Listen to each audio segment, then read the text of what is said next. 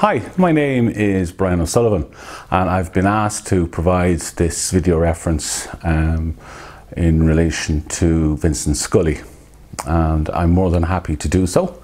Um, and what I'd like to do is, um, I suppose, just outline some bullet points in terms of my experience of Vincent's expertise um, across a number of domains in relation to um, IT platforms. So, for example, um, Vincent would have created the platform parentalalienation.eu.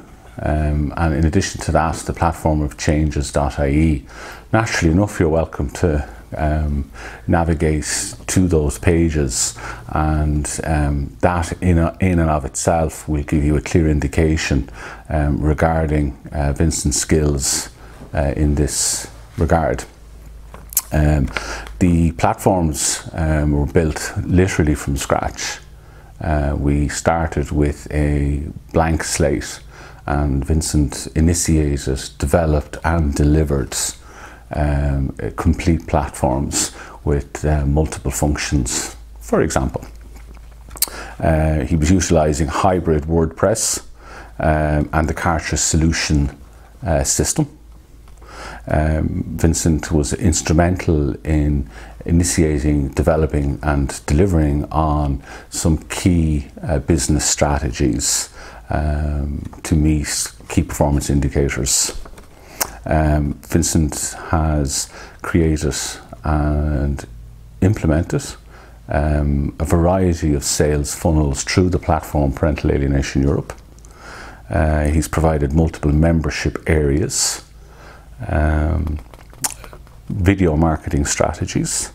Um, Vincent also took um, a very proactive approach to the entire social media marketing strategies and publishing services um, in relation to Parental Alienation Europe's platform.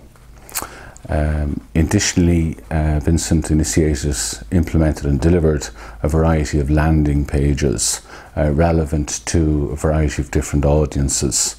Uh, what do I mean by that? So, uh, essentially, the platform Parental Alienation Europe is uh, about providing uh, awareness, education, training, interventions, and so on and so forth. And so we can see straight away there how um, the platform would appeal to a number of different audiences. Um, within the family law arena, uh, within the mental health arena, within social work and social care arenas, and so on and so forth. Uh, overall, I have to say, over the past um, excuse me, two years or so, I have found uh, Vincent to be professional, uh, efficient, um, he's not too expensive. I have found Vincent to be incredibly reliable. Uh, what Vincent often does is he under promises and over delivers. Uh, I found Vincent very easy to work with, and um, I have absolutely no difficulty whatsoever in recommending um, Vincent and the skill set that he brings um, in any endeavour that he wishes to pursue. Thank you for taking the time to listen to me.